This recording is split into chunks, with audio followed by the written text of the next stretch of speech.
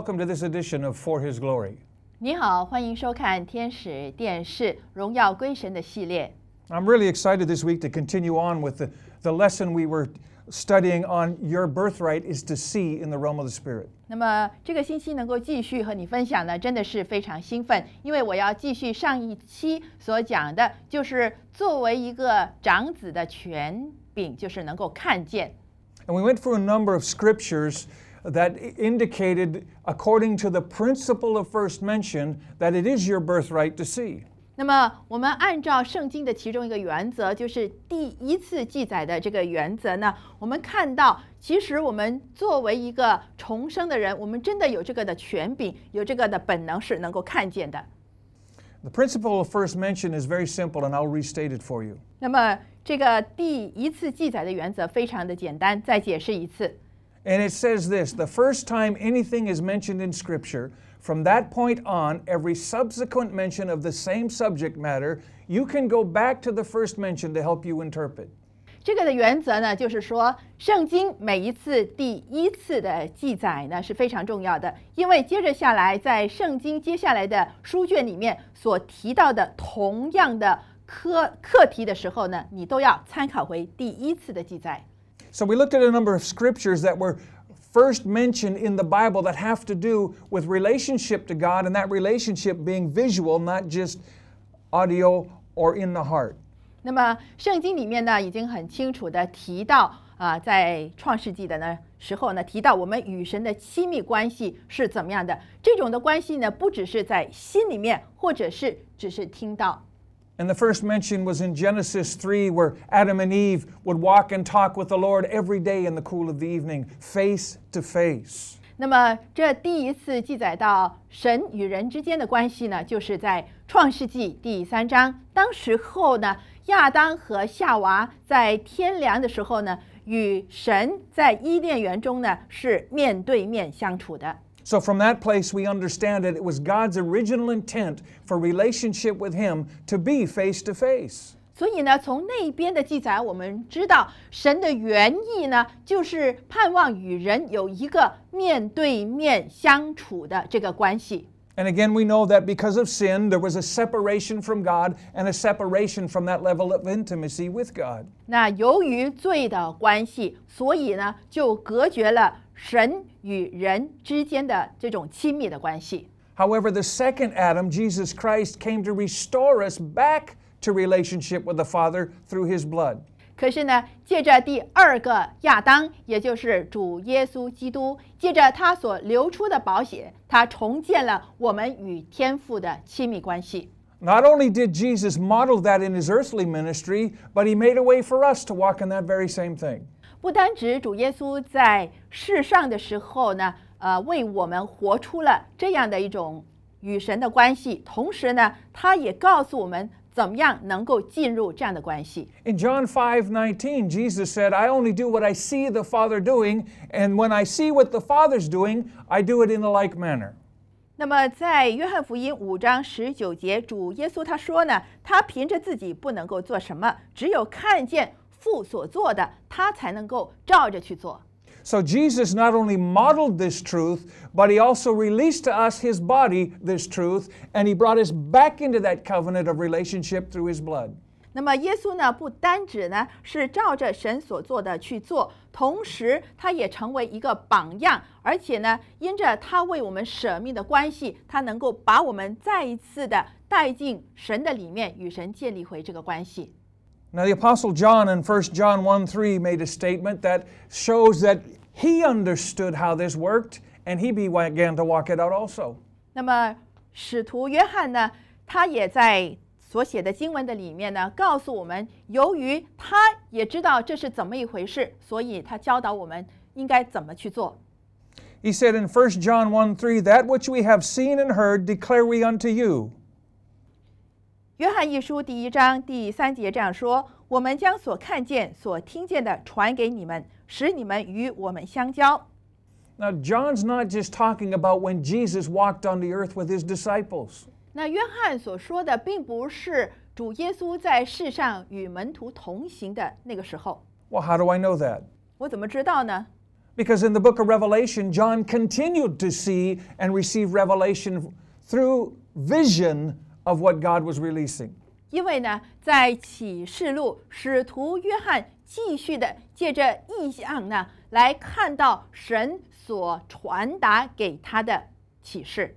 Now, let me show you what happened and how Jesus gave us access. 那么，让我跟你解释一下，耶稣怎么样带领我们能够有这种啊、进入与他关系的这种权本能。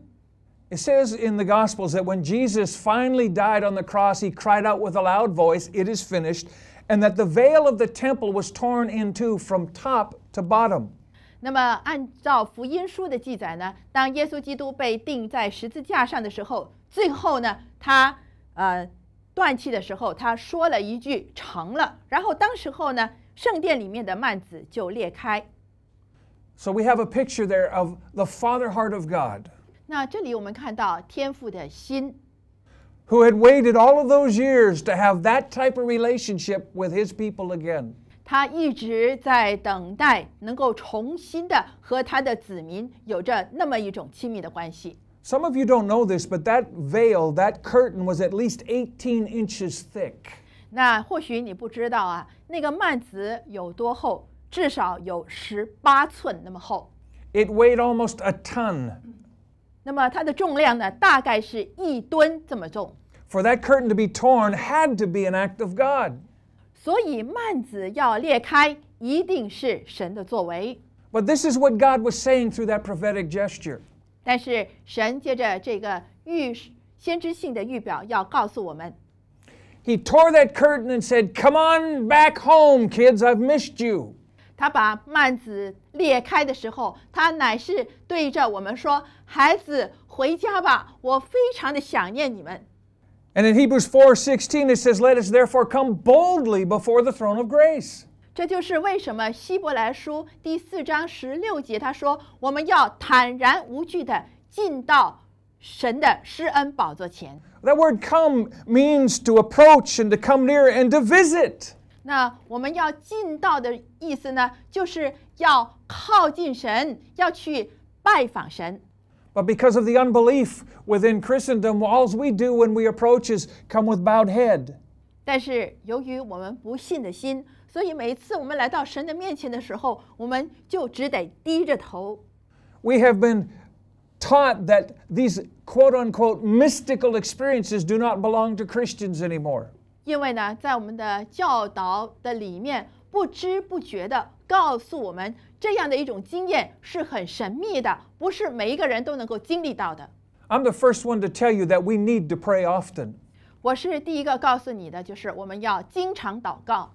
But I want you to know when he says to come into that Holy of Holies before the throne of grace, he literally means step on in and talk with him face to face. 可是当神说你要进到这个至圣所的时候呢，他乃是要我们进到神的面前，与神面对面。 You know, when we have children in the natural realm that are born with birth defects, we say they are handicapped. 那么我们知道呢，在自然界的里面，如果一个孩子出世的时候呢，他们有缺陷，我们就说他们是残缺儿童。And unfortunately, because sin entered into the human race, that happens in, in instances in different families. 那但是因着罪的关系呢，所以呢，这一些的缺陷会出现在不同的家庭。Some can be born blind, some can be born lame.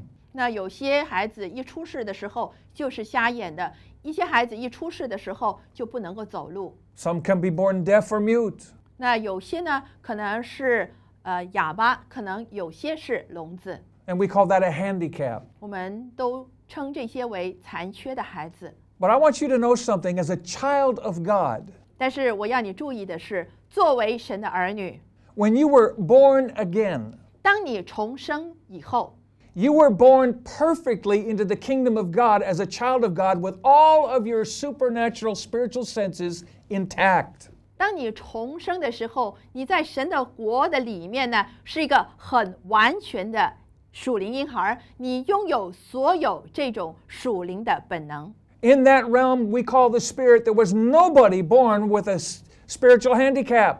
那么在这个灵界的里面呢， 没有一个是属灵的残缺孩子。our spiritual senses were intact. Unfortunately, we've never taken the time to exercise those senses to become proficient in engaging that realm.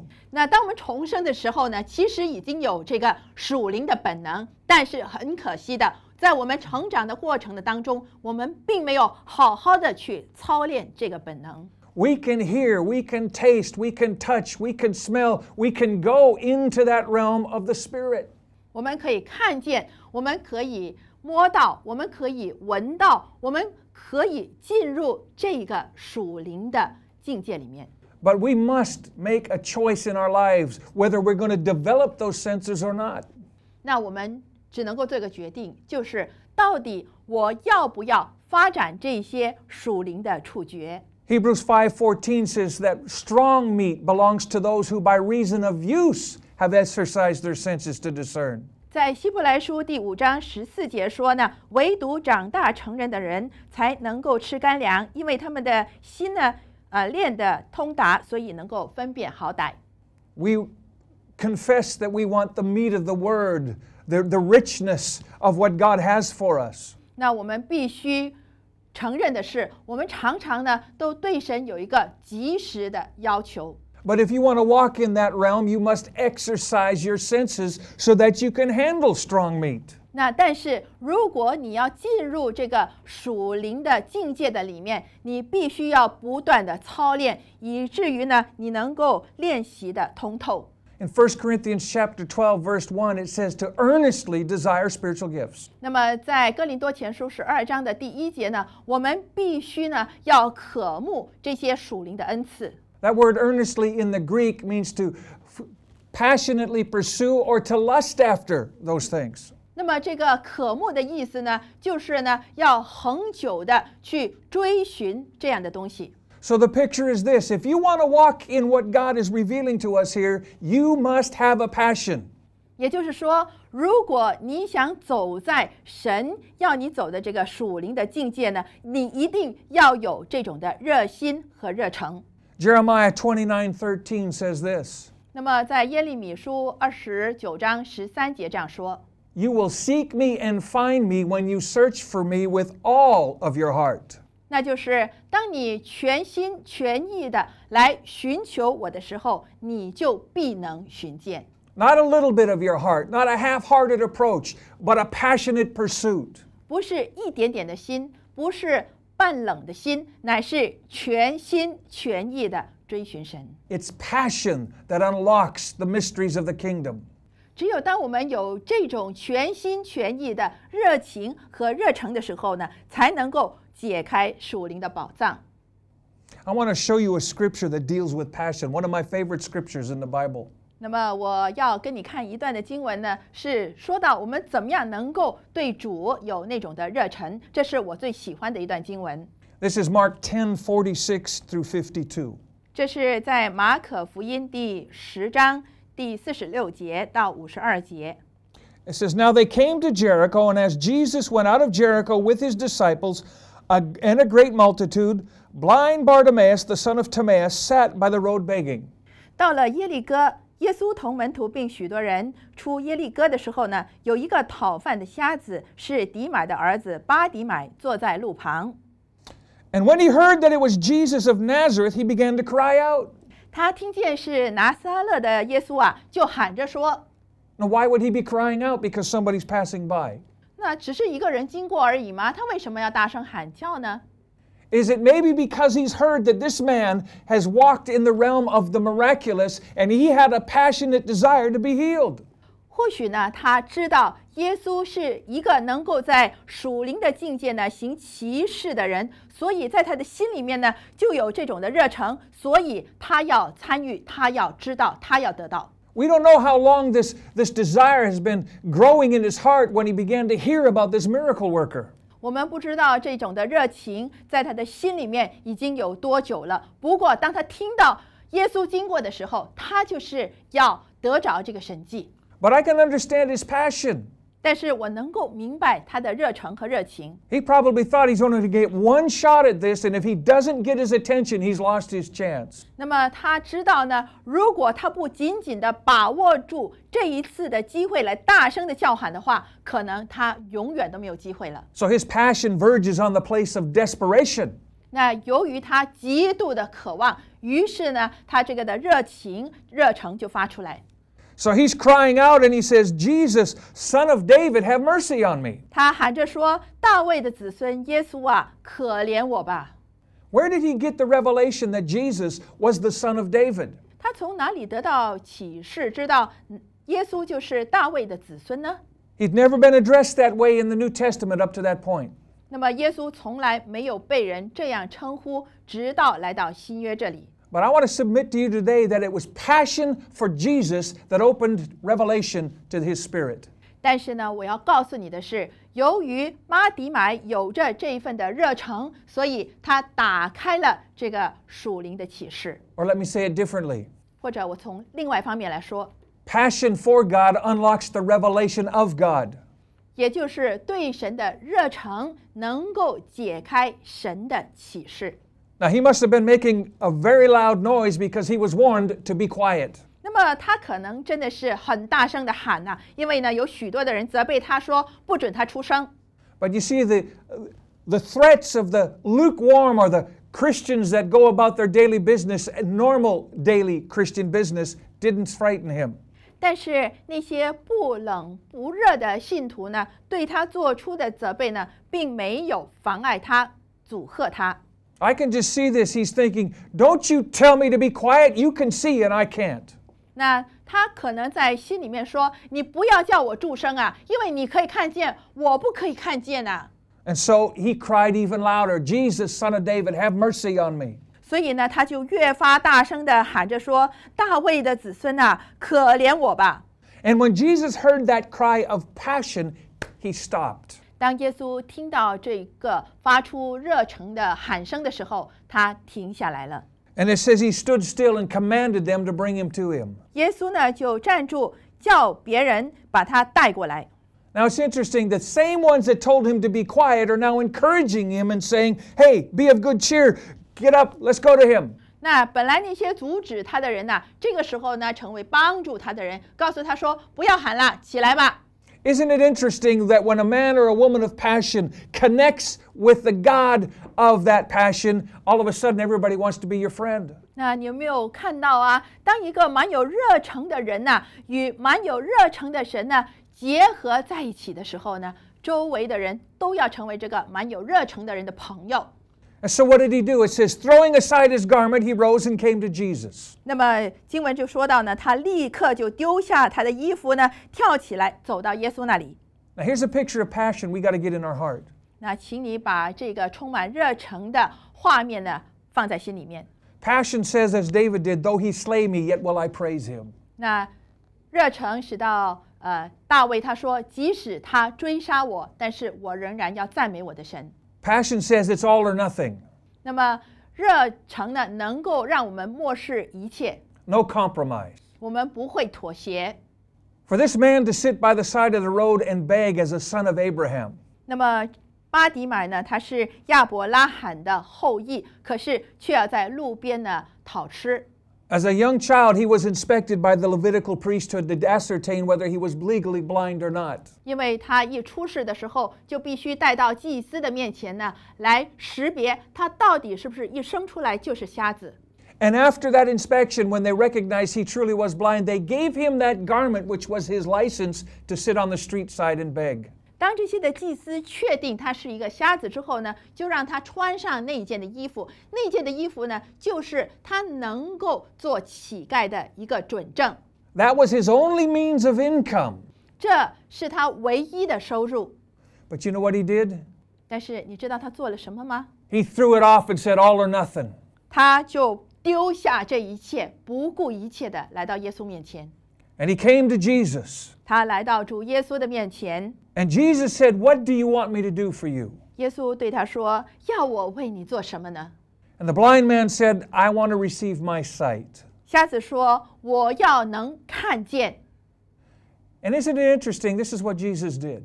那你看看，耶稣做了非常有意思的东西。 Notice he didn't lay hands on him, 他没有为他按手， he didn't call the intercessors. 他没有叫代祷者为他祷告。 He just said, Go your way, your faith has made you well. 耶稣说：“你去吧，你的信救了你了。 And immediately he received his sight and he followed Jesus. ”瞎子立刻看见了，就在路上跟随耶稣。 You see, faith without works is dead. 我们看到信心没有行为就是死的。 He proved his faith through his, pra- his passionate cry and through throwing off that garment. 他借着他的喊声，借着他丢下的衣服， 表示了他对神的信心。Here's the most astonishing thing about this passage of Scripture 在这一段的经文里面，这是最奇妙的地方。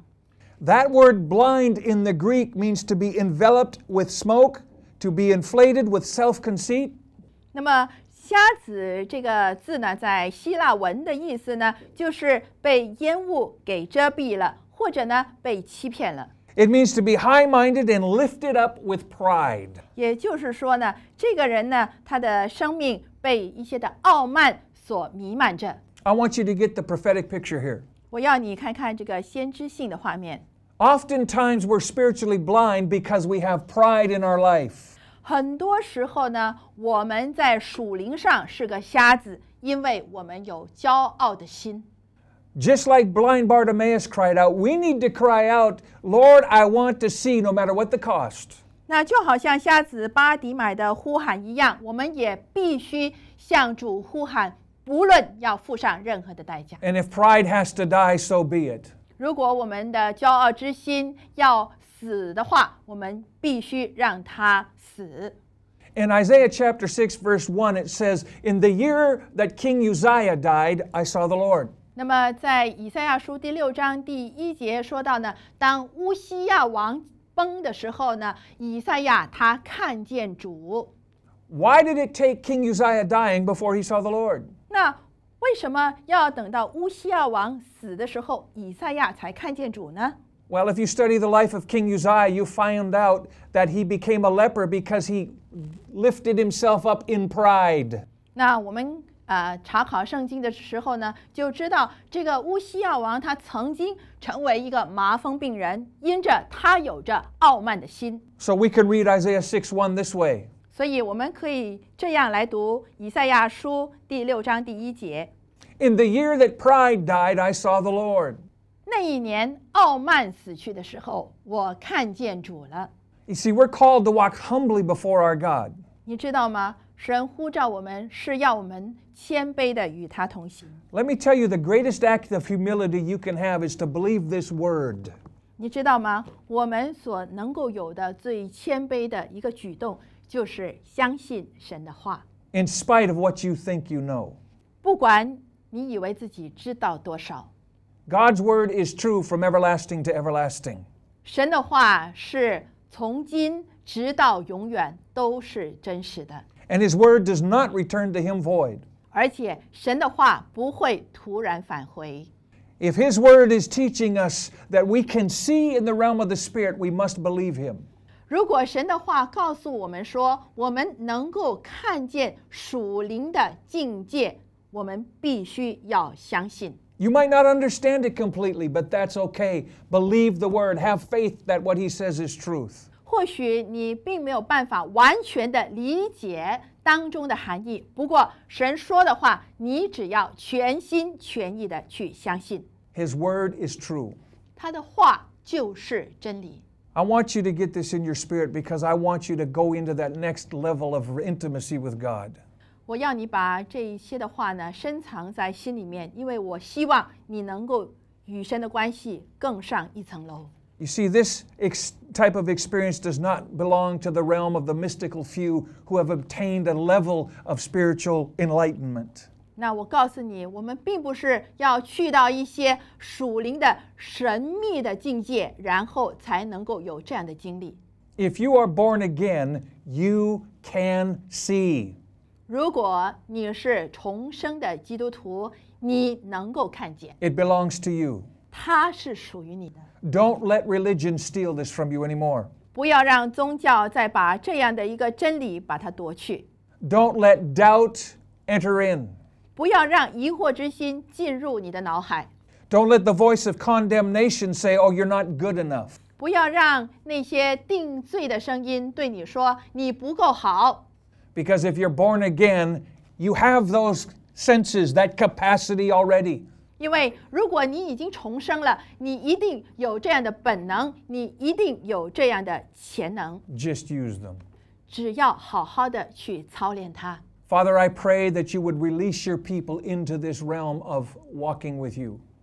天父啊，求你释放你的子民，能够在这个属灵的境界里面与你同行， that they would know you face to face. 让他们能够面对面的认识你。 And I thank you for it in Jesus' name. 为此，我献上感谢，奉耶稣基督的名字，Amen. 阿门。